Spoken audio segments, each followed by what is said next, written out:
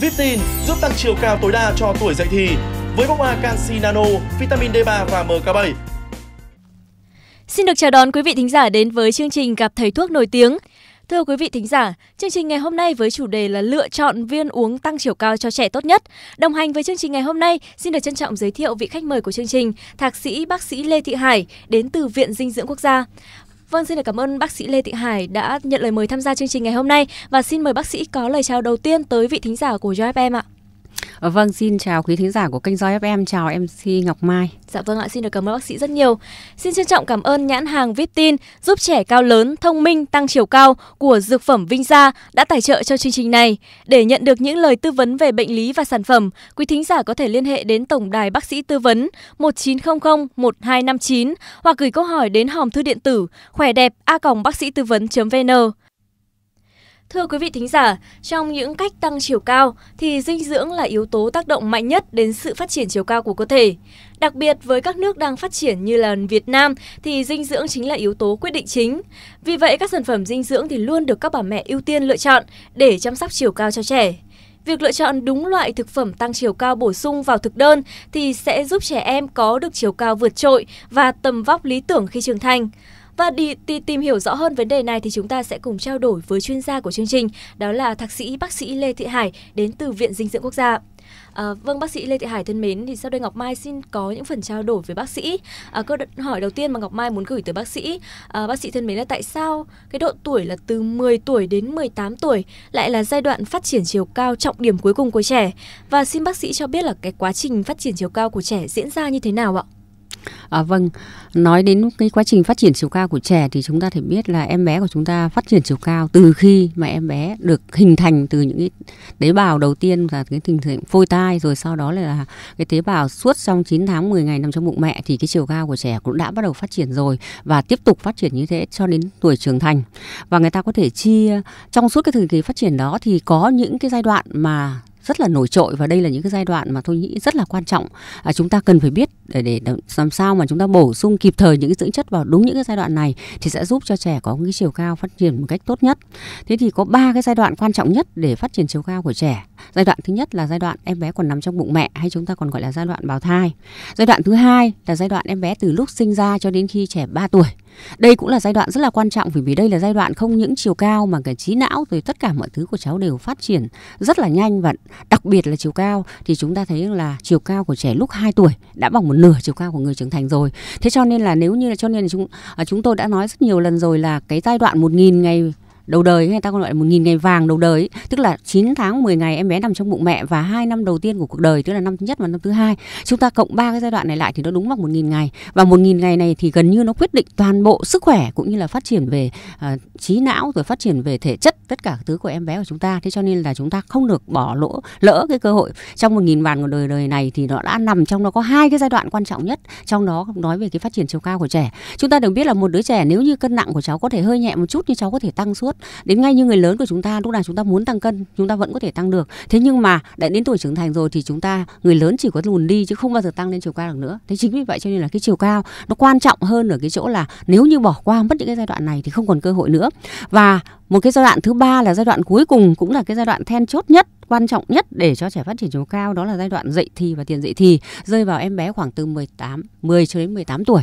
Và cái tuổi tiền dậy thì thì ở bé gái à, nó sẽ sớm hơn bé trai một chút. Bé gái thì thông thường là còn rơi vào khoảng từ 10 đến 13 tuổi còn bé trai thì khoảng 13 cho đến 18 tuổi. Đấy thì khoảng cái thời gian đấy. Thế thì tại sao à, giai đoạn nào cũng rất là quan trọng rồi nhưng mà tại sao nói cái giai đoạn từ 10 đến 18 tuổi là giai đoạn quan trọng cuối cùng nhất? Bởi vì là đây là giai đoạn cuối cùng. Nếu như các bậc phụ huynh của chúng ta bỏ qua nốt cái giai đoạn này thì chúng ta không còn cơ hội nào để có thể tăng chiều cao cho trẻ được nữa. Bởi vì là sau cái giai đoạn dậy thì này rồi thì em bé đã dậy thì hoàn toàn rồi, thì gần như là xương đóng hoàn toàn. Và lúc giờ chúng ta có tác động cái gì đi chăng nữa thì chiều cao cũng không thể tăng được. Chúng ta cho bé ăn nhiều vào thì cháu chỉ có phát triển bề ngang thôi, chứ còn không thể nào là là tăng chiều cao được nữa. Và cái giai đoạn này cũng là cái giai đoạn mà cháu tăng trưởng nhanh nhất, bởi vì là trong những cái giai đoạn ba cái năm của tiền dậy thì và dậy thì này thì có những năm là các cháu có thể tăng 10 đến 15 cm thậm chí có cháu tăng 20 cm thế cho nên là vừa mới năm trước chúng ta nhìn thì một cái cô bé, cậu bé vẫn như là một đứa trẻ con, thế nhưng mà chỉ một năm sau gặp lại cháu qua cái tuổi dậy thì thì cháu đã trở thành thiếu nữ rồi hoặc là trở thành một cái chàng trai cao lớn vạm vỡ rồi. Thế cho nên là phải nói là cái giai đoạn 10 đến 18 tuổi là cái giai đoạn quan trọng nhất và cũng là giai đoạn cuối cùng.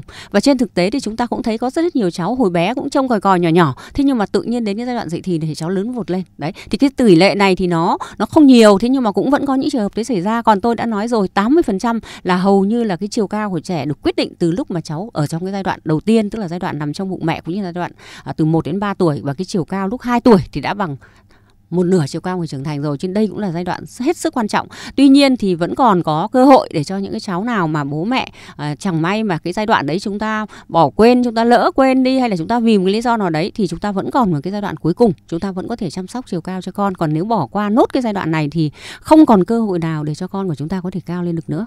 Dạ vâng ạ. Với những chia sẻ của bác sĩ thì có thể thấy là chúng ta có rất nhiều giai đoạn quan trọng để phát triển chiều cao cho trẻ. Nhưng mà cái giai đoạn trẻ từ 10 đến 18 tuổi chính là cái giai đoạn mà trẻ phát triển mạnh nhất, tăng trưởng nhanh nhất đúng không ạ? Vậy thì theo bác sĩ thì cái những yếu tố nào sẽ ảnh hưởng đến sự phát triển chiều cao của trẻ và yếu tố nào thì chúng ta có thể can thiệp để giúp trẻ cao lớn hơn thưa bác sĩ ạ? À, vâng, phải nói là những cái yếu tố có rất nhiều cái yếu tố ảnh hưởng đến cái sự phát triển chiều cao của trẻ. Nhưng mà à, hầu hết thì chúng ta từ trước đến nay chúng ta vẫn luôn luôn à, tất cả các bậc phụ huynh của chúng ta luôn luôn trong đầu luôn luôn một quan niệm là cái yếu tố di truyền là yếu tố quyết định nhất. Thế cho nên là những ông bố bà mẹ mà thấp bé nhẹ cân hay là ông bà à, cháu ngày xưa thấp bé nhẹ cân thì à, đẻ ra con à, khi mà cháu phát triển chiều cao chậm thì lại đổi là ờ thôi gen của nhà cháu nó thế rồi. Thế nhưng mà có thực sự là gen đóng một vai trò quan trọng như thế không thì thưa các quý vị là đúng là gen yếu tố gen yếu tố di truyền là yếu tố cũng vô cùng quan trọng.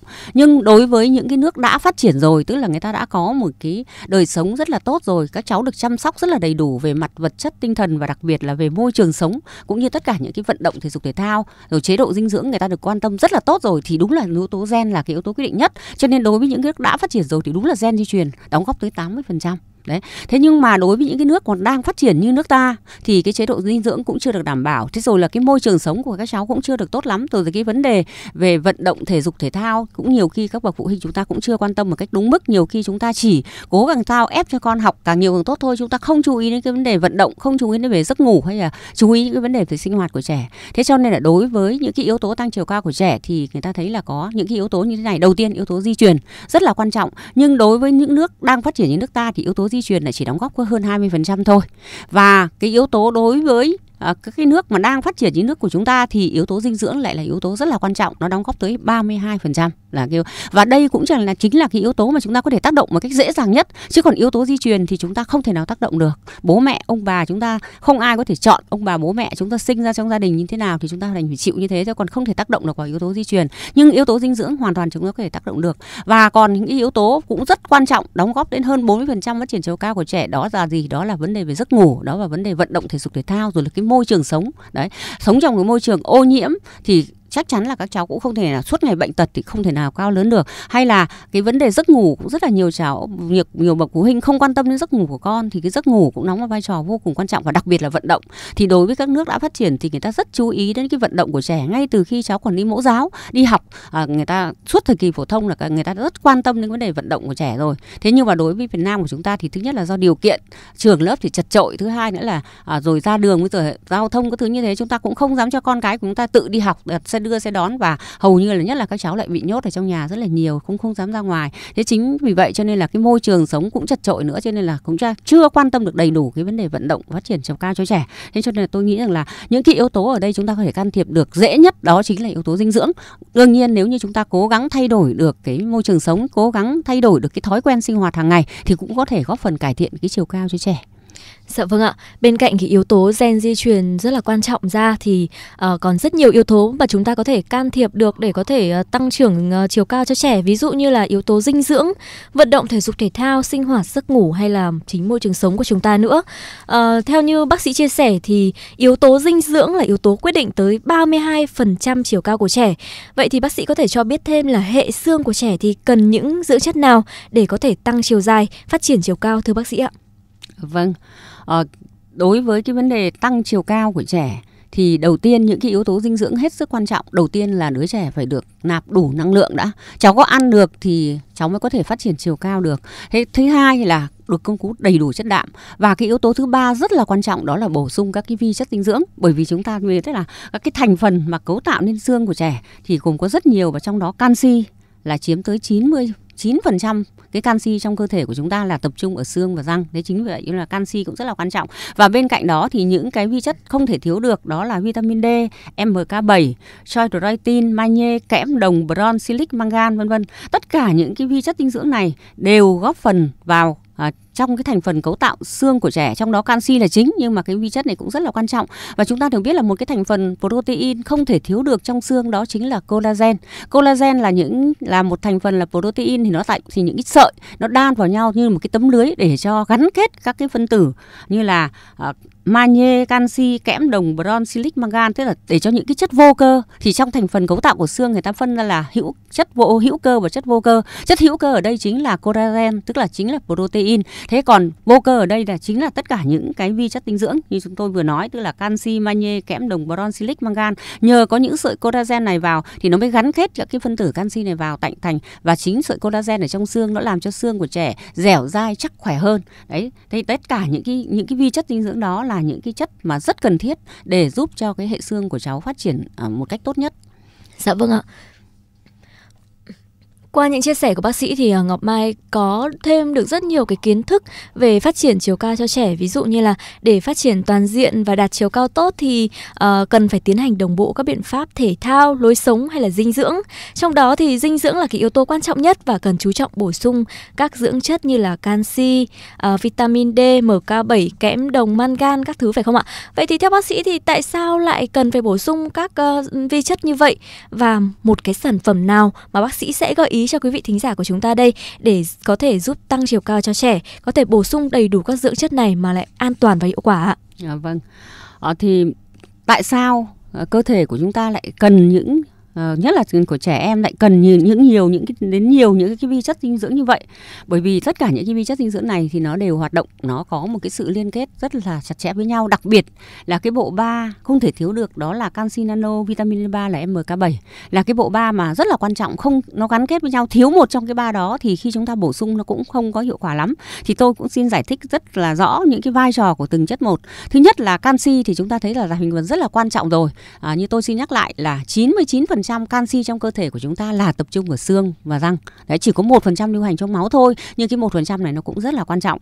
À, thế nhưng mà vitamin D khi muốn đưa vào trong cơ thể thì khi chúng ta bổ sung một là qua à, thực phẩm ăn uống hàng ngày thứ hai là chúng ta có thể bổ sung các thực phẩm chức năng hay tập trực, trực tiếp uống thẳng canxi thế nhưng mà tự canxi thì nó lại không hấp thu được vào trong cơ thể mà lại phải cần nhờ có vitamin D3 thế chính vì thế cho nên ta thấy là những cái cháu bé nào mà ít được tắm nắng hồi còn nhỏ này Đấy, rồi là không được bổ sung vitamin D này thì gần như là cháu rất hay bị còi xương bởi vì cháu không hấp thu được canxi. Thế cho nên đầu tiên là phải có vitamin D3, nó mới tăng cường việc hấp thu canxi, đưa canxi từ ở trong ruột đưa vào trong máu. Thế nhưng mà khi canxi vào trong máu thì nó cũng lại không tự mình nó chạy được đến xương được mà nó lại phải cần nhờ có một cái protein để vận chuyển canxi. Và cái protein vận chuyển canxi này có tên là oscansin. Nó nằm ở trong tế bào của tế bào tạo cốt bào tức là tế bào cạo xương. Thế nhưng bình thường thì nó lại ở cái thể không hoạt động thì lại phải nhờ có sự tác động của một cái chất vitamin K2 chính là tự có nguồn gốc thiên nhiên chính là MK7. Thế thì vai trò của MK7 là vì nó kích hoạt cái protein này để vận chuyển đưa canxi vào xương và đồng thời cũng lại đưa những cái canxi ở những cái nơi không cần thiết ra ngoài khỏi cơ thể. Cho nên phải nói là cái vai trò của MK7 rất là quan trọng. Và như trước tôi vừa cái nói cái phần là à, cái các cái sợi collagen nó rất là quan trọng trong cái thành phần cấu tạo ra xương thì MK7 ngoài cái việc mà giúp vận chuyển đưa kích hoạt cái protein, vận chuyển canxi, đưa canxi vào xương ra thì nó còn có tác dụng tăng tổng hợp collagen nữa. Thế cho nên là phải nói là cái MK7 này đóng một vai trò rất là quan trọng mà đây là một cái chất mà rất dễ thiếu mà à, không phải là cái sản phẩm nào bổ sung cũng có thể sẵn có. Thứ hai nữa là ở chúng tôi đã nói là cái giai đoạn 10 đến 18 tuổi là cái giai đoạn cuối cùng để có trẻ có thể tăng tốc chiều cao thì trong cái thành phần này có cái chondroitin là cái chất mà rất là quan trọng, nó có tác dụng à, kích thích cái sụn tiếp hợp, tức là cái sụn nối giữa hai cái phần đầu xương của trẻ nó dài ra dụng tức và dài ra thì làm cho xương của cháu phát triển nhanh hơn lên. Thế cho nên cái thành phần cho tin đóng rất là vai trò quan trọng. Thế rồi ngoài ra thì những cái vi chất khác như là magie kẽm đồng boron silic mangan thì là những cái thành phần nằm trong cái chất khoáng của xương cũng phải được bổ sung đầy đủ. Vào như vậy thì làm cho xương của trẻ vừa chắc khỏe và vừa giảm dai hơn.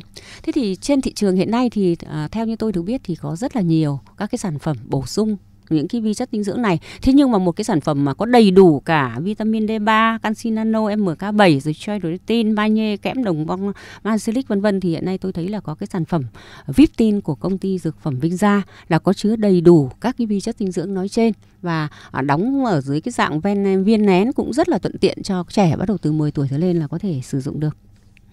Dạ vâng ạ. Ờ, theo như bác sĩ nhắc tới thì cái sản phẩm này có chứa đầy đủ và cân đối các dưỡng chất uh, giúp tăng trưởng chiều cao cho trẻ. Vậy thì bác sĩ có thể cho biết thêm là cái sản phẩm này còn những cái ưu điểm gì khác không ạ? Và cái sản phẩm này dùng cho độ tuổi nào? Và nếu như bác sĩ uh, đã tìm hiểu kỹ thì có thể nói cho quý vị thính giả cùng biết cái cách sử dụng sản phẩm này như thế nào được không ạ? Vâng. Uh, theo tìm hiểu thì tôi cũng được biết rằng là đây là một cái sản phẩm của công ty dược phẩm Vinh Gia. À, cái công thức này đưa ra thì được nghiên cứu bởi giáo sư tiến sĩ khoa học Hoàng Thích Huyền, nguyên chủ nhiệm bộ môn dược lý trường Đại học Y Hà Nội đã dày công nghiên cứu để và xây dựng cái công thức của cái sản phẩm Vitin này riêng cho công ty dược phẩm Vinh Gia.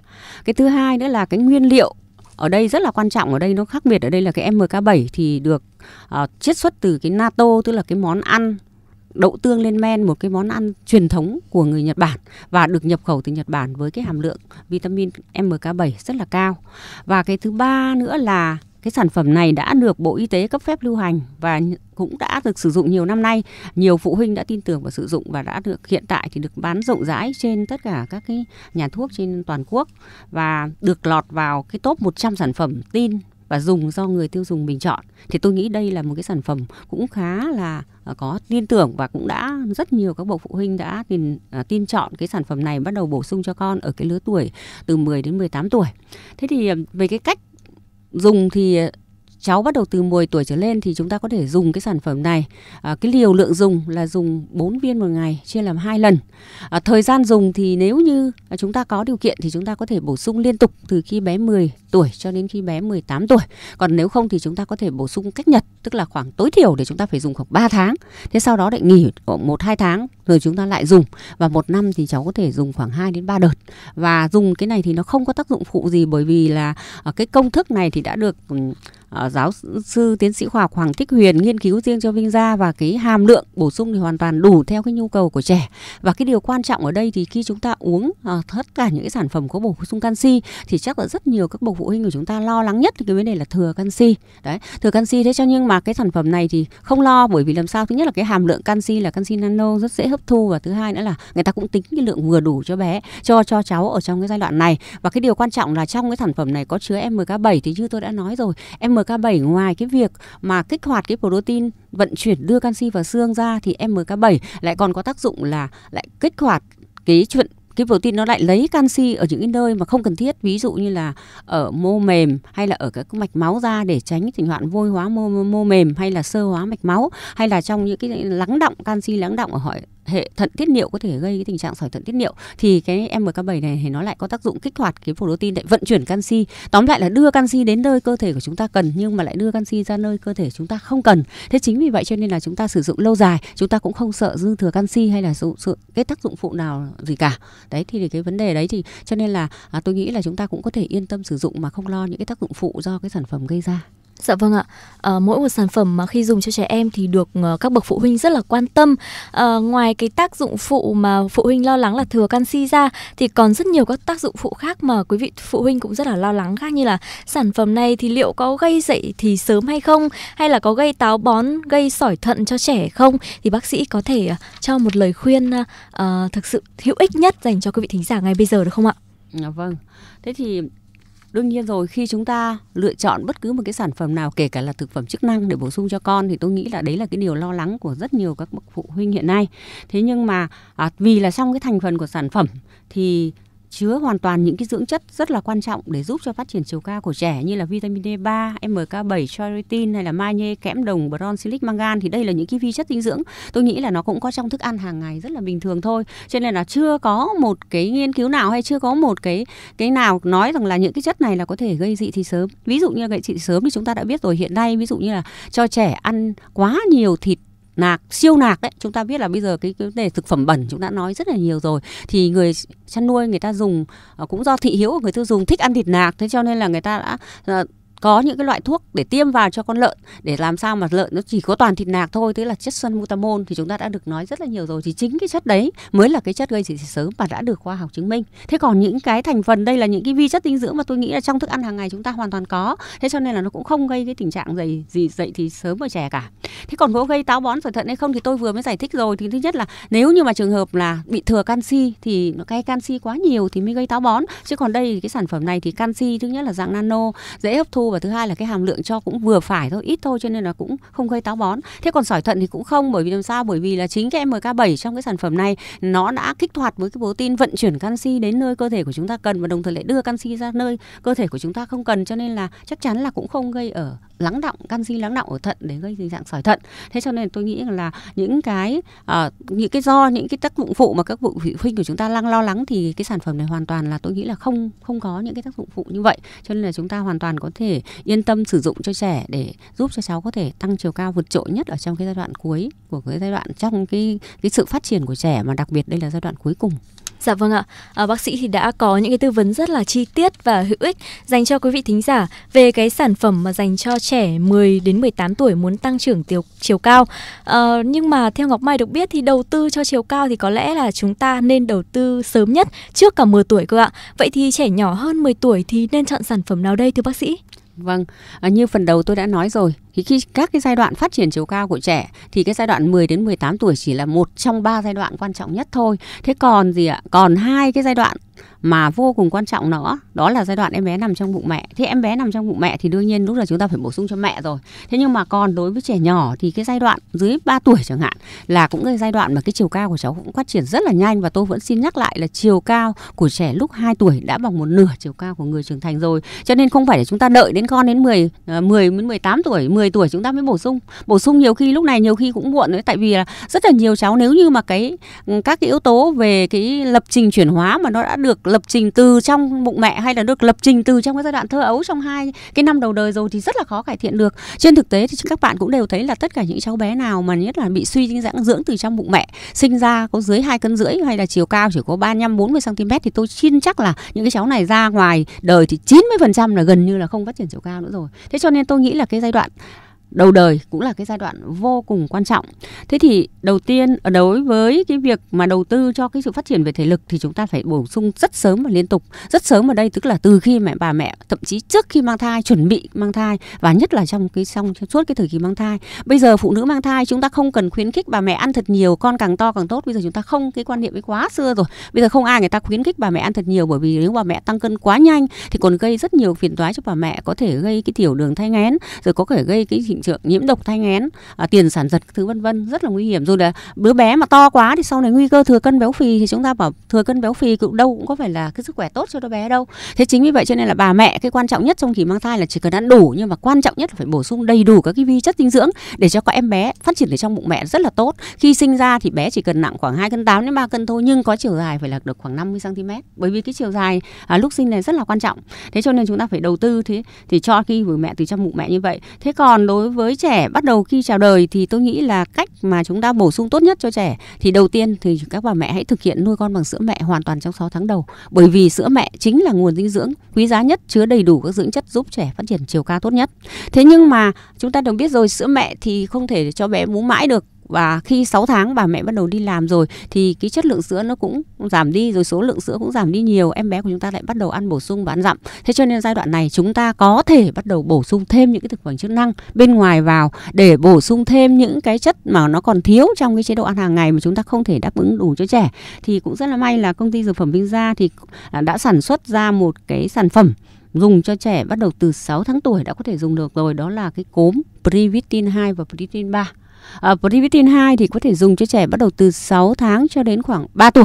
Thì đây là cái giai đoạn mà tôi nghĩ là em bé cũng đang rất cần cái cái sự phát triển về chiều cao và đặc biệt ở cái giai đoạn này thì em bé lại rất hay ốm đau và trên thực tế thì chúng ta đều thấy là tất cả những trẻ nào mà ở giai đoạn nhỏ thơ ấu mà suốt ngày ốm đau thì cũng không thể cao lớn được. Thế cho nên là cái công thức Privitin 2 thì ngoài các cái thành phần dưỡng chất để phát triển chiều cao đó là vitamin D3, canxi nano, MK7 thì uh, có thêm một cái nhóm sản phẩm để tăng cường hệ miễn dịch cho trẻ, đó là Immun Alpha và cholesterol.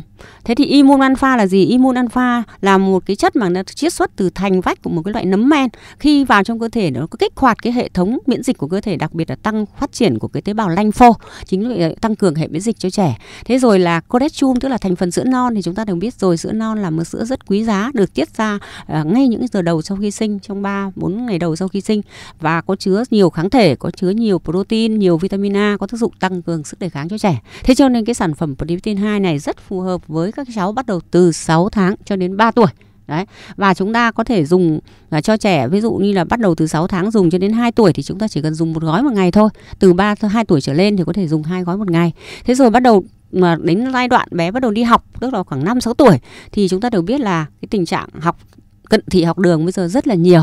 Thế rồi khi cháu đi học thì uh, cái mà cháu cần nhất đó là phát triển về trí não rồi đặc biệt là có cái đôi mắt của cháu phải sáng đôi mắt của cháu phải được cân đầy đủ các cái dưỡng chất. Thì uh, công ty dược phẩm Vinh Gia lại cho ra cái sản phẩm Brivitin 3 là ngoài cái thành phần canxi nano vitamin D3 MK7 cũng để giúp phát triển chiều cao ra thì có bổ sung thêm các cái dưỡng chất tốt cho trí não của trẻ đó là taurin và DHA đấy là hai cái thành phần mà rất cần thiết cho cháu bắt đầu lứa tuổi đi học thì chúng ta lại có thể bổ sung sang cái sản phẩm protein 3 cho đến khi em bé khoảng độ 9 tuổi. Và từ 10 tuổi trở lên thì chúng ta dùng sản phẩm protein. Thì tôi nghĩ đây là một cái dòng sản phẩm mà nó có chứa đầy đủ những cái dưỡng chất này, nó phù hợp với từng giai đoạn từng đứa trẻ. Và từng ở lứa giai đoạn nào thì ở tùy từ giai đoạn thì chúng ta có thể chọn những cái sản phẩm phù hợp để bổ sung cho cháu, để giúp cho trẻ trong suốt cái giai đoạn phát triển. Từ lúc sinh ra cho đến khi bé đến trưởng thành, dậy từ hoàn toàn, chúng ta ngoài cái chế độ dinh dưỡng, ăn uống, luyện tập thể dục thể thao ra thì chúng ta có thể bổ sung thêm thêm để giúp hỗ trợ thêm cho cái vấn đề tăng chiều cao cũng như là phát triển về trí não cho trẻ. Dạ vâng ạ.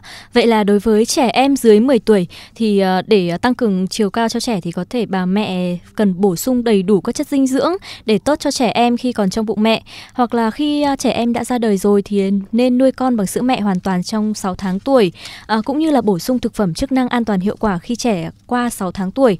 À, bên cạnh đó thì quý vị thính giả nên nhớ là bên cạnh cái việc bổ sung chất dinh dưỡng thì cần phải giúp trẻ vận động thể dục thể thao thường xuyên, à, có được chế độ sinh hoạt, có được giấc ngủ thật là hợp lý và môi trường sống cũng cần phải uh, sạch sẽ và an toàn nữa. À, quý vị thính giả đang nghe chương trình gặp thầy thuốc nổi tiếng với chủ đề là cách lựa chọn sản phẩm tăng cường chiều cao cho trẻ an toàn hiệu quả. Quý vị thính giả thân mến, chúng ta đang cùng nhau trao đổi với bác sĩ thạc sĩ Lê Thị Hải đến từ Viện Dinh dưỡng Quốc gia về chủ đề là sản phẩm tăng chiều cao cho trẻ. Và nếu như quý vị có bất cứ câu hỏi gì liên quan đến vấn đề dinh dưỡng cho trẻ thì hãy gọi điện cho chúng tôi để kết nối với bác sĩ được giải đáp tư vấn trực tiếp từ bác sĩ Lê Thị Hải qua tổng đài tư vấn sức khỏe kênh Joy FM đó là số 1900 6255 hoặc quý thính giả cũng có thể gửi thư đến hòm thư điện tử biên tập a989.vn. Và ngay bây giờ thì chúng tôi cũng đã nhận được những kết nối đầu tiên tới từ quý vị thính giả và chúng ta hãy cùng trò chuyện với vị thính giả đầu tiên kết nối thành công ạ. Alo, xin chào vị thính giả ạ. Alo ạ. Dạ vâng, xin được chào vị thính giả ạ. Vị thính giả giới thiệu đôi chút về bản thân Chào mình ạ. bác sĩ, Ờ, em là Trang, 35 tuổi ở Trương Mỹ, Hà Nội ạ. Dạ vâng ạ, thính giả Trang có câu hỏi nào muốn đặt đến cho bác sĩ Lê Thị Hải ạ? Em- bác sĩ cho hỏi là ờ, em có hai cháu ạ. Ờ, một cháu năm nay 10 tuổi học lớp 5, còn một cháu năm nay ờ, 3 tuổi ạ. Vâng, thì ờ, cho em hỏi là chiều cao của cháu bé nhà em ờ, cháu trai đầu ạ là 1 mét là 32 và nặng uh, 50 à quên, nặng uh, 37 cân. Vậy em hỏi là cháu có thiếu chiều cao không ạ? Đấy là câu hỏi thứ nhất ạ. Alo. Dạ vâng ạ, bác sĩ Lê Thị Hải đi. vẫn đang nói tiếp hỏi nốt câu đi rồi tôi trả lời một thể luôn. Vâng ạ. Vâng câu hỏi thứ hai là cháu bé nhà em năm nay đến tháng 28 tháng 11 này được 3 tuổi ạ. Thì ờ, cháu được uh, 3 tuổi thì chiều cao của cháu là 89 phân và ờ, cân nặng của cháu là 14 10 à 13 cân. Cháu vâng cho em hỏi như thế có phát triển bình thường không ạ? Là cháu thứ hai là cháu trai hay cháu gái em? Dạ cháu thứ hai là cháu gái ạ, cháu đầu là cháu trai ạ. Cháu đầu là cháu trai. Rồi. Vâng. Thứ nhất là à, xin nói luôn là cả hai bé nhà em là đều thiếu chiều cao cả nhá. Vâng. Ngay cả Vâng. cháu đầu ấy là 10 tuổi thì cân nặng của cháu thì lại còn thừa nhưng mà chiều cao thì Vâng. lại thiếu nhá. Cân nặng thì bây giờ là đáng nhẽ 10 tuổi thì cháu chỉ cần có 32 cân thôi thì bây giờ cháu lại những 37 cân, tức là thừa 5 Vâng. cân. Nhưng mà Vâng. chiều cao thì lại đang lại ngược lại thì lại thiếu 5 cm. Đấy. Vâng. Tức là bây giờ là thiếu 6 cm luôn ấy tại bây giờ là phải 1m38 phẩy bảy chính xác là gần Vâng. một mét ba chín. Thế mà bây giờ cháu có muốn ra hai thôi nhưng là cháu vẫn thiếu gần 7 cm mà trong đó lại cân nặng lại thừa đến cả 5 cân Vâng. như vậy thì chắc là trông cháu là hơi mập đúng không? Đấy đấy là hơi mập. Đấy cho nên là cháu nhà em là bây giờ như thế này vì là cháu thì uh, thực ra thì cân thừa vài cân thế này thì chưa có nguy cơ bị béo phì đâu. Thế nhưng mà vì cháu thấp chiều cao cho nên là cháu lại bị thừa cân béo phì rồi do thấp chiều cao đấy. Thế thì uh, không biết là hồi sinh ra hồi cháu bé chào đời thì cháu nặng mấy cân em còn nhớ không Cháu nặng 3 cân 7 ạ. nặng 3 cân 7 cơ à?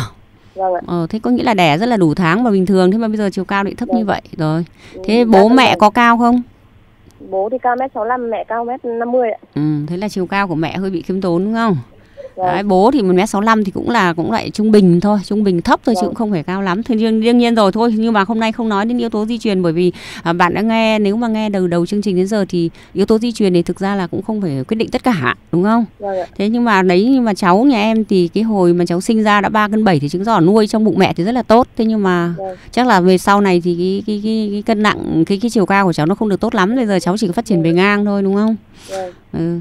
Đấy thế thì cho như cháu nhà em là cháu đầu là là thiếu đấy, thiếu đến 7 phân Vâng. ờ, chiều cao nhá. 7 cân vâng. Ừ. Cháu, cháu Đấy, đấy là cháu đầu và bây giờ là phải làm sao phải tích cực vận động thể dục thể thao để cho con đừng có thừa cân nữa, đã thừa cân không ăn chất ngọt chất béo nữa nhá. Vâng. đấy, chứ bây giờ- không ăn nhiều đâu. Không ăn nhiều nhưng mà bây giờ là cái vận động của nó vận động ít quá hoặc là gì Vận đấy. động buổi sáng thì em Ừ. đi à, đi chạy chạy thể dục ạ. Ừ, chạy thể dục. Thế tối đến thì mấy giờ cháu đi ngủ? cháu phải đến 10 giờ ạ. Đấy bây giờ em cố gắng cho cháu đi ngủ 9 rưỡi đi nhá tại vì là cái vâng. thời điểm từ 10 đến 12 giờ đêm là cái thời điểm mà cái hormone tăng trưởng nó tiết ra nhiều nhất cho nên là Vâng. cháu lúc giờ cháu phải đang ngủ say thế cho nên là phải cho cháu đi ngủ sớm nhá rồi tăng Vâng. cường vận động nhá cả sáng cả Vâng. chiều thế rồi ngoài ra nữa thì về chế độ dinh dưỡng thì bây giờ là ăn không ăn chất ngọt chất béo để cho nó đừng có bị tăng cân này thứ hai nữa Vâng. là vấn đề nữa là em có thể bổ sung thêm cái sản phẩm hôm nay đã nghe chương trình đấy sản Vâng. phẩm Vitin cho cháu từ 10 tuổi em cho cháu bổ sung thêm để cho nó tăng cái chiều cao cho cháu nhá Tại vì khi cháu cao lên rồi thì nó không lo thừa cân béo phì nữa Tại bây giờ là cái cân nặng của cháu là 37 cân là bằng bé 11 tuổi đấy Mà 11 tuổi thì nó lại phải 1m40 mấy cơ. Đấy thế cho nên là cháu là bị thừa cân nhá Vâng. Thế còn bé thứ hai cũng vậy Bé thứ hai thì cân nặng thì 13 cân thì cũng thiếu một chút thôi Thiếu có 9 lạng thôi Tức là thiếu có một cân thôi cũng không đáng sợ Đáng ngại lắm Thế nhưng mà chiều cao thì bây giờ phải 95 phân Cho nên là con em cháu thứ hai cũng đang thiếu 6 phân chiều cao Vâng. Đấy 6 phân chiều cao Thế cho nên Cháu là đẻ ra tốt mà Ừ, đấy, thế thì 30 đấy cũng- 33 cũng- cân 8 cơ. Ừ, lại Vâng, còn 3 nhưng cân mà- 8 Thế Vâng. nhưng mà nuôi chắc là những cái năm đầu đời nuôi cháu nó không được ngấy lắm đúng không? Cho nên cái chiều cao của nó cũng bị hơi bị thấp. Vâng. Đấy thì cháu này cũng vậy, cháu này thì bây giờ cháu này thì là bây giờ cũng cố gắng để cho con ăn sữa, cái, cái chế phẩm từ sữa này nhá. Vâng. Thế rồi là ăn rau quả nhiều này, thế rồi là cũng phải cho cháu đi ngủ sớm. Cháu mới có 3 tuổi thì nên đi ngủ trước 9 giờ cho bác nhá. Thế rồi là tích, các, tích cực cho con vận động thể dục thể thao và với cháu 3 tuổi thì em có thể uống cái cốm Previtin 2 hoặc Previtin 3 mỗi ngày cho cháu hai gói. Vâng. ạ. Ừ, nhá. Vâng, cảm ơn bác sĩ ạ. Ờ, cảm ơn vâng. chương trình ạ. Vâng, em chào chương trình ạ. Dạ vâng ạ, xin được cảm ơn bác sĩ Lê Thị Hải với những tư vấn vừa rồi dành cho thính giả Trang 35 tuổi và hy vọng với những tư vấn vừa rồi thì thính giả Trang đã có được những cái biện pháp để tăng cường chiều cao cho hai con của mình. Và chia tay với thính giả Trang chúng ta sẽ cùng trò chuyện với một vị thính giả tiếp theo đang đợi máy ở đầu dây bên kia. ạ. Alo, chương trình gặp thầy thuốc nổi tiếng xin nghe ạ. Dạ, ờ, báo cáo với chương trình là cho tôi xin gặp thầy thuốc ờ, Hải. Dạ vâng ạ. Vâng, được chào bác ạ. giả. Xin Vâng. mời bác đặt câu hỏi ạ. Tôi làm binh ở Liên Bạc Ứng Hòa, Hà Nội. Vâng, Ê, tôi có một thằng cháu trai năm nay đang học lớp non 5 tuổi. vâng, Lúc này là nó sinh, lúc sinh nó già có một cân 8 thôi. vâng, Thế hiện nay tức là nó rất lười ăn. Đấy, nó lười ăn lắm. Thế mà bây giờ thì ờ, muốn nhờ bác sĩ tư vấn cho tôi là làm thế nào để cho nó ăn khỏe để nó phát triển chiều cao. Thế này nó chỉ được có một mét thôi. một mét và cân nặng bao nhiêu hả bác? cân nặng thì nó chỉ được vào 13 cân thôi. Vâng. Đấy, thì ờ, nói chung là đối với cháu của bác là đấy, như tôi đã nói rồi, là các cái giai đoạn phát triển rất là quan trọng là giai đoạn từ bé từ nằm trong bụng mẹ đấy. Thế cho nên cháu lại sinh non rồi có cân 8 thôi, thì đương nhiên đấy là cái nguyên nhân hàng đầu mà gây đến cái tình trạng suy dinh dưỡng sau này của cháu rồi, nhá. Thế thì mà đúng là bây giờ thì cháu quá suy dinh dưỡng bởi vì bây giờ là 5 tuổi, thì bây giờ cháu phải là 18 cân và cao 1 mét 110. Thế là cháu của bác bây giờ là thiếu 5 cân và thiếu 10 cm chiều cao thì đương nhiên là đang rất suy dinh dưỡng rồi, nhá. Và những cái cháu đã suy dinh dưỡng thì bao giờ nó cũng biếng ăn, bởi vì làm sao bởi nó suy dinh dưỡng thì các cái tuyến tiêu hóa trong cơ thể của nó gần như là teo nhỏ, nó không tiết được men tiêu hóa, rồi nó đã ăn kém rồi nó lại thiếu các cái vi chất dinh dưỡng cho nên nó biếng ăn là chuyện thường tình cho nên là theo tôi thì trường hợp của bác ấy thì tết tốt nhất là bác nếu có điều kiện thì tốt nhất là nên cho cháu đi khám ờ, chuyên khoa dinh dưỡng để được các bác sĩ tư vấn nó cụ thể hơn. Thế chứ còn thì riêng bây giờ thì tư vấn cho bác, bây giờ qua tổng đài thì tôi chỉ khuyên khuyên bác được cái là bây giờ cháu mới lười ăn thì bây giờ là phải không cho cháu ăn vặt là thứ nhất này không được bim bim bánh kẹo nước ngọt này. Thứ hai nữa là à, thay đổi đa dạng các món ăn. Ví dụ như là cháu có thể tuổi này thì đáng nhẽ là ăn cơm rồi nhưng mà có thể cho cháu ăn cháo ăn mì ăn súp ăn phở. Chia nhỏ bữa ăn ra cho cháu. Đấy rồi thay đổi thường xuyên món ăn chế biến cho cháu. Thế và à, có thể là bổ sung thêm cho cháu men tiêu hóa vi sinh rồi bổ sung thêm kẽm bổ sung thêm một số vitamin nữa thì sẽ giúp cho cháu ăn tốt hơn. Thế nhưng mà trường hợp cháu suy dinh dưỡng nặng như thế này thì tốt nhất là bác nên cho cháu đi khám ở các cái bác sĩ chuyên khoa dinh dưỡng ở ví dụ như đến viện dinh dưỡng quốc gia nhá để cho cháu khám vào đấy thì sẽ được cái địa chỉ đấy bác sĩ tư vấn cho tôi cái. Địa chỉ thì bác đến ra số 2 IX xanh ạ. Ở số 2 bao nhiêu ạ? Số 2 IX xanh hoặc là 48B tăng bạc hổ cũng được ạ. À vâng. Vâng vâng. Tăng bạch hổ à tăng bạc hổ vâng vâng. Vâng. vâng Đấy, viện dinh dưỡng quốc gia vâng bác nên cho Vâng. cháu đi khám bởi bây giờ cháu là sang suy dinh dưỡng quá nhá. Vâng tôi Vâng. bây giờ thì tôi ờ, chỉ muốn là bác sĩ là tôi là người khiếm thị.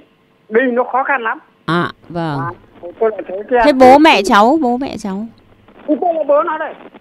À thế à, à anh Dạ vâng ạ. À, xin được cảm ơn à, vị thính giả đã đặt câu hỏi cho chương trình. Và có lẽ là vị thính giả cũng đã nghe được những lời khuyên từ bác sĩ Lê Thị Hải à, dành cho con của mình uh, bị suy dinh dưỡng đó là không ăn vặt. Uh, nên thay đổi thức ăn đa dạng cho con trong các bữa ăn. Và khi đi khám bác sĩ chuyên khoa uh, về dinh dưỡng thì uh, hãy nhớ là nhờ các bác sĩ tư vấn thật là cặn kẽ thật chi tiết cho con của mình. Bởi vì là con của quý vị thính giả thì uh, đang bị suy dinh dưỡng nặng đúng không ạ? Thưa bác sĩ và quý vị thính giả thân mến uh, chia tay với vị thính giả vừa rồi chúng ta sẽ cùng kết nối với một vị thính giả tiếp theo đang đợi máy rồi ạ. Alo xin chào vị thính giả ạ. Vâng, alo. dạ vâng ạ Tôi là Tuấn ở dưới uh, Phú Xuyên. Tôi có uh, đứa con gái là năm nay uh, cháu 14 tuổi. Ờ, cháu cao 1 mét là nặng 40 cân. Hỏi cháu có thiếu chủ cân không ạ? dạ vâng ạ chúng tôi đã nghe rõ câu hỏi của thính giả Tuấn rồi ạ sau đây sẽ là phần tư Vâng, vấn của bác sĩ anh. Lê Thị Hải ạ Thứ nhất là cháu bé cháu năm nay là 14 tuổi cháu gái đúng không ạ? Vâng, thế thì chắc chắn là tôi ờ, cũng hỏi luôn là chắc là cháu đã dậy thì rồi đúng không? Tức là cháu đã có, Vâng. có kinh nguyệt rồi đúng không? Vâng, Vâng, có. thế chính vì vậy cho nên là bây giờ thực ra là à, nói thì là cái chiều cao của trẻ là có thể phát triển đến à, tận lúc à, 25 tuổi thì xương mới đóng hoàn toàn nhưng mà trên thực tế thì chúng tôi thấy là đa số thì nhất là, là bé gái của chúng ta mà đã bắt đầu biểu hiện bằng khi mà cháu đã có kinh nguyệt tức là cháu đã biểu hiện một cái dậy thì hoàn toàn rồi thì chiều cao của cháu cũng tăng nhưng mà tăng rất là chậm cho nên là rất là tiếc là đối với cháu trường hợp này thì có nghĩa là cũng sẽ tăng được nhưng mà cái chiều cao mà để đạt mong muốn thì cũng hơi hơi khó đấy bởi vì là bây giờ thì đương nhiên 14 tuổi thì bây giờ nếu mà cháu phát triển bình thường ấy thì giờ nó phải 1m60 rồi.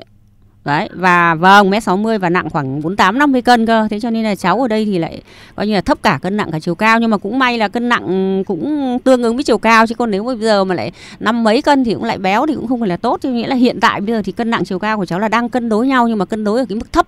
Và so với chuẩn thì giờ cân nặng cũng thiếu 10 và chiều cao cũng thiếu 10.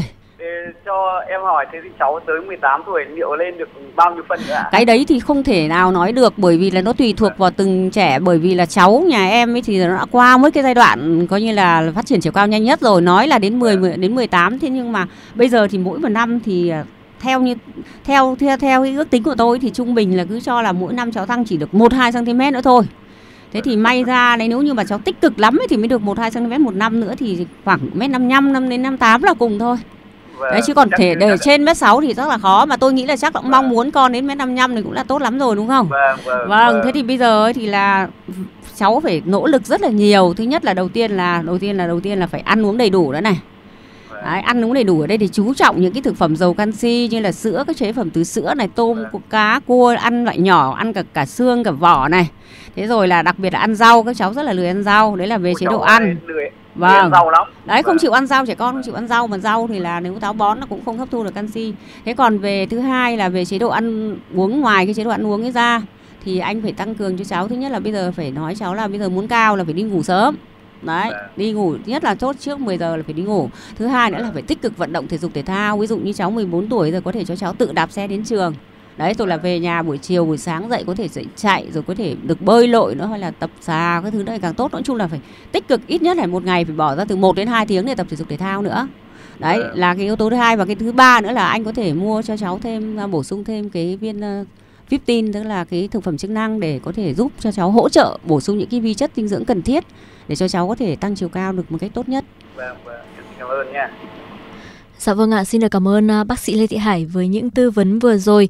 Uh, quý vị thính giả thân mến là uh, có lẽ là quý vị uh, cũng vừa nghe bác sĩ Lê Thị Hải tư vấn cho vị thính giả vừa rồi có con bị uh, uh, chiều cao bị thiếu thì um, nên bổ sung cái ờ, chế độ ăn uống hợp lý, ăn nhiều rau cho con mình, đi ngủ sớm, tích cực hoạt động thể dục thể thao cũng như là cần phải bổ sung các sản phẩm chức năng an toàn và hiệu quả để tăng cường chiều cao cho con của mình. À, và chúng tôi thì uh, ngoài cái tổng đài 19006255 ra thì cũng nhận được những uh, câu hỏi đến từ hòm thư điện tử biên tập a989.vn và xin được uh, đọc một lá thư đầu tiên gửi đến bác sĩ Lê Thị Hải ạ. À, thưa bác sĩ, cháu mới 16 tuổi nhưng chiều cao chỉ có 1m48.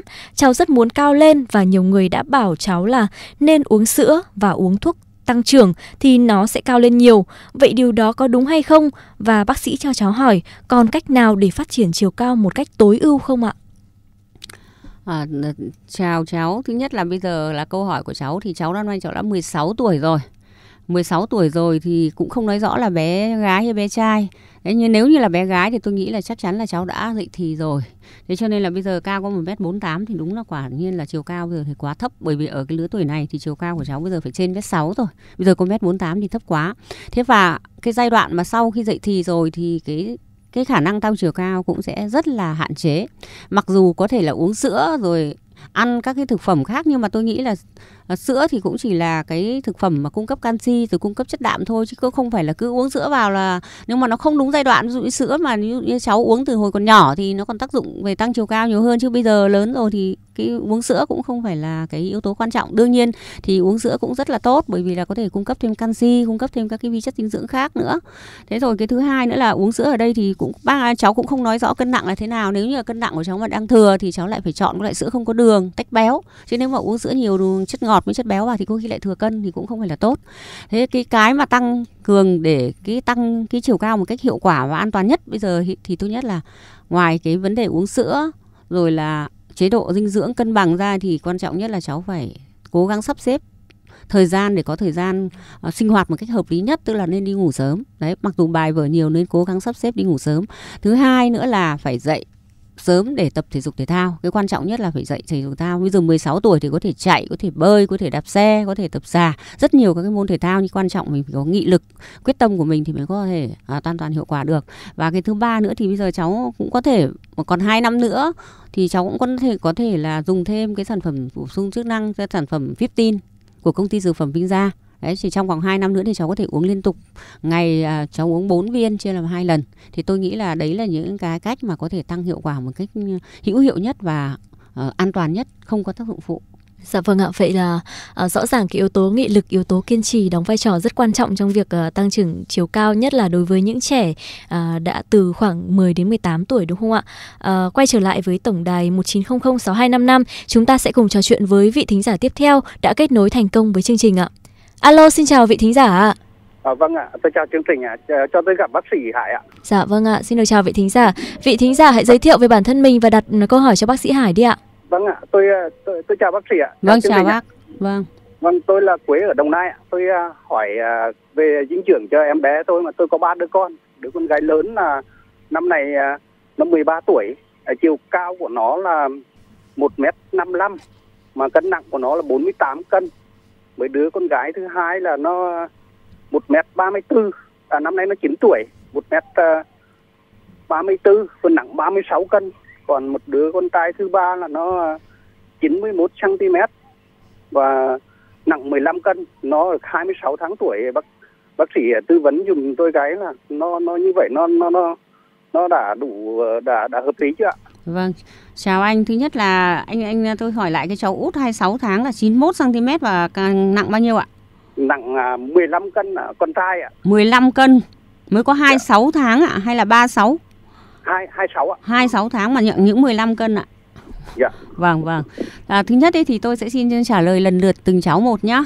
Thứ nhất dạ. là cái cháu bé 13 tuổi ấy, mà bây giờ là cao 1m55 và nặng 48 yeah. cân thì tôi nghĩ là cũng khá ổn rồi đấy. Nếu mà theo yeah. cao chuẩn của cháu bây giờ thì khoảng 1m57 thì thôi cháu được 1m55 mà tôi nghĩ cũng được rồi nhá. Yeah. Không biết yeah. là cháu đã có kinh nguyệt chưa?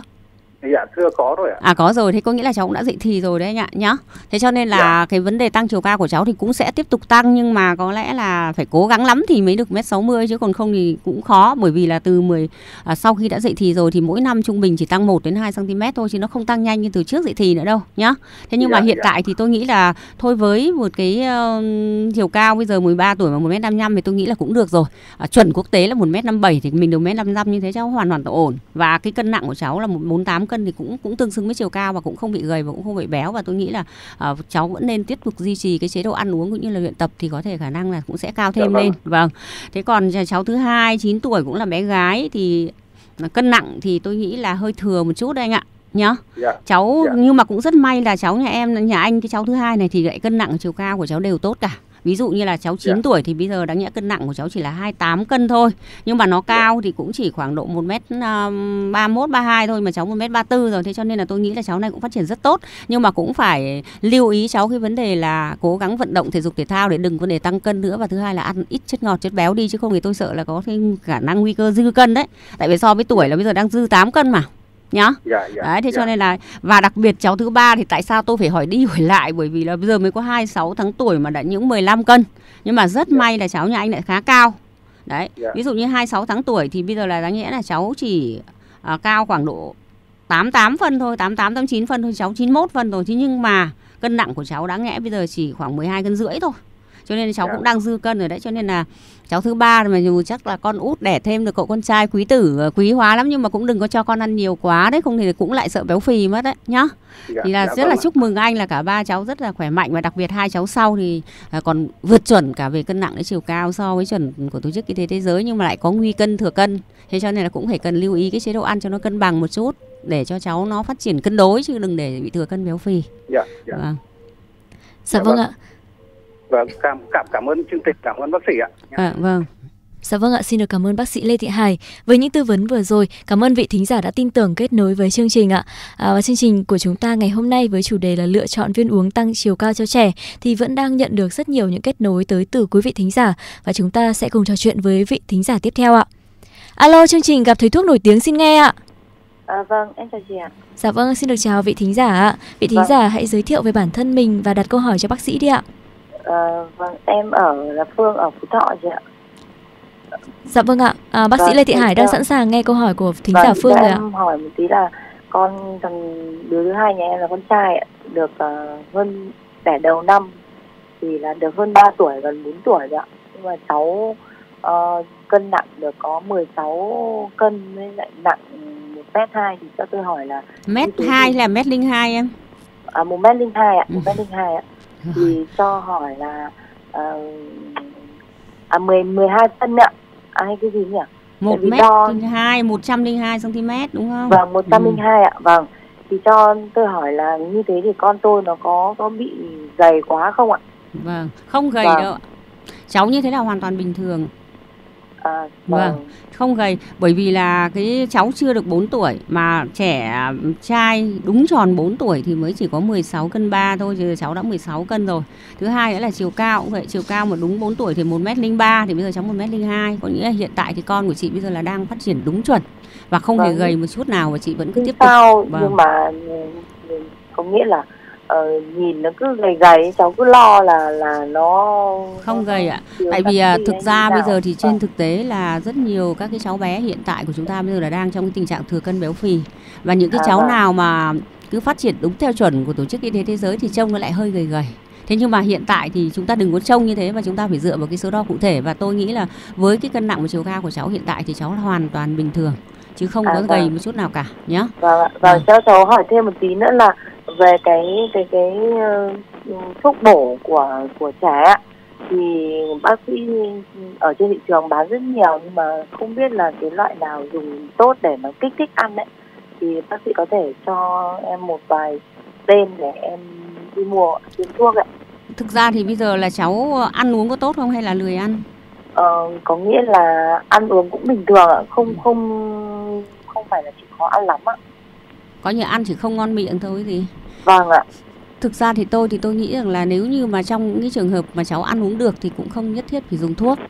Đấy, chỉ cần mẹ Vâng. cố gắng thay đổi chế biến các cái món ăn phù hợp với khẩu vị cho cháu cho cháu không ăn vặt bim bim bánh kẹo nước ngọt thì tôi nghĩ là hoàn toàn là cháu có thể ăn được được tốt hơn. vâng, Thế còn thứ vâng, hai là trong trường hợp mà cháu có thể biếng ăn một chút thì là chị có thể bổ sung cho cháu thêm men vi sinh. Đấy là Vâng. nó an toàn nhất men vi sinh. Thế rồi là thứ hai nữa là có thể bổ sung thêm kẽm hoặc là bổ sung thêm à, vitamin nhóm B, lysine. Nói chung là chị chọn cái thuốc mà trong cái thành phần của nó nó có những cái chất như tôi kể trên, ví dụ như có kẽm này, Vâng. có lysine Vâng. này, có vitamin nhóm Vâng. B này. Đấy, những cái loại thuốc đấy rồi là chị bổ sung thêm men vi sinh. Đấy thì Vâng. là nó giúp cho cái vấn đề tiêu hóa của cháu tốt hơn Còn tôi nghĩ là quan trọng nhất là chúng ta phải thay đổi cái cách chế biến món ăn và cái cách cho trẻ ăn Đấy ví dụ như là Vâng. ở cái lứa tuổi này là cháu đang đi mẫu giáo cho nên là nó rất hay ăn Vâng. vặt hay là ăn không đúng giờ giấc hay là nhiều khi bị bố Vâng. mẹ ép những cái món nó không thích chẳng hạn thì làm cho cháu nó ăn không ngon miệng thôi chứ còn À, chúng ta vâng. cũng không nên quá lạm dụng những cái thuốc mà Vâng, nó không vâng. cần thiết Vâng, vâng, em cảm ơn chương trình ạ. Vâng, em cảm ơn ạ. Vâng. Dạ vâng ạ. À, xin Dạ. được cảm ơn tất cả quý vị thính giả ngày hôm nay đã tin tưởng kết nối với chương trình để lắng nghe những à, tư vấn tới từ bác sĩ Lê Thị Hải và cảm ơn à, bác sĩ Lê Thị Hải với những tư vấn hết sức là bổ ích và thấu đáo dành cho quý vị thính giả của gặp thầy thuốc nổi tiếng ạ. Xin trân trọng cảm ơn thạc sĩ bác sĩ Lê Thị Hải đến từ Viện Dinh dưỡng Quốc gia đã tham gia chương trình ngày hôm nay và có những tư vấn dành cho quý vị thính giả của chương trình. Trân trọng cảm ơn nhãn hàng Vitin giúp trẻ cao lớn, thông minh, tăng chiều cao của công ty dược phẩm Vinh Gia đã tài trợ cho chương trình này. Để nhận được những lời tư vấn về bệnh lý và sản phẩm, quý thính giả có thể liên hệ đến tổng đài bác sĩ tư vấn 1900 1259 hoặc gửi câu hỏi đến hòm thư điện tử khỏe đẹp a bác sĩ tư vấn.vn. Thay mặt ekip sản xuất, chúng tôi xin trân trọng cảm ơn quý thính giả đã yêu mến cũng như là đặt niềm tin vào chương trình. Hy vọng rằng mỗi chương trình chúng ta sẽ có được những kinh nghiệm đáng quý để bảo vệ sức khỏe cho chính bản thân và gia đình. Viptin giúp tăng chiều cao tối đa cho tuổi dậy thì với bông hoa canxi nano, vitamin D3 và MK7